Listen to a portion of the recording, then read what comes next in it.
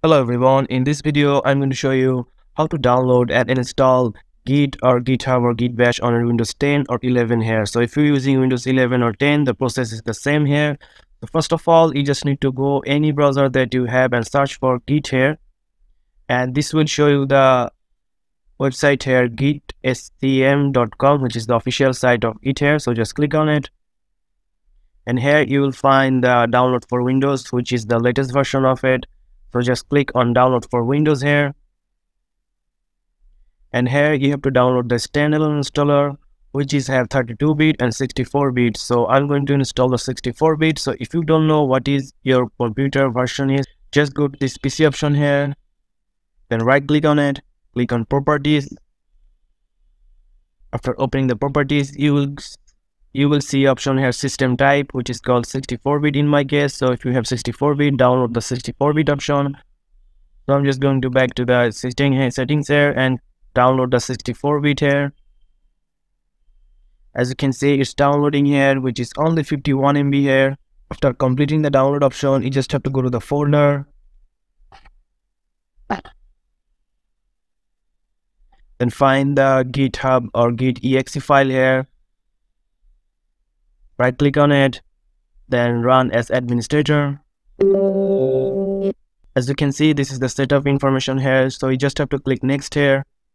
Then you have to choose where you're gonna git is going to install so you can browse or change the but for example i'm going to choose the c program here so just click next here and also you can see it will only take 292 mb just click next.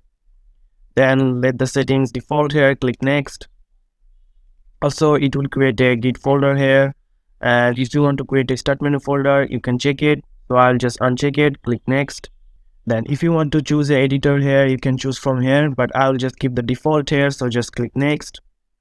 And also just choose the default version here just click next. And this is the recommended version so you don't have to choose any other thing so just click next here. And also and also use the bundle open ssh so just click next here use the OpenSSL library, yes, click next. And also keep the settings here default here, so just click next here. Also keep next.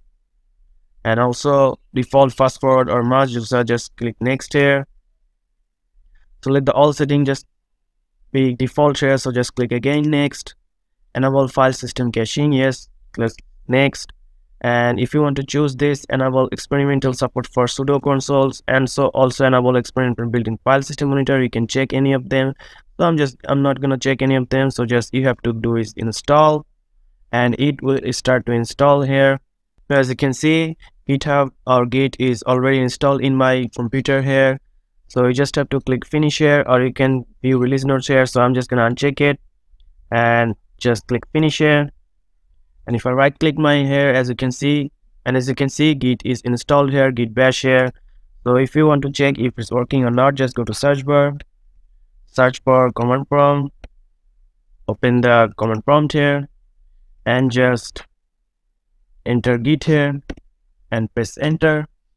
And you will find this option here.